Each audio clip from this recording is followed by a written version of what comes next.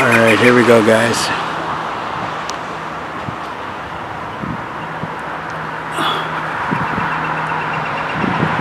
Goes to show that one man's vision.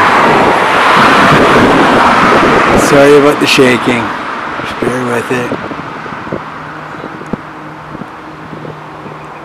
So again, these are northern flickers. They're going into the first part of the of the mating ritual. So they're putting on some, look at these moves here.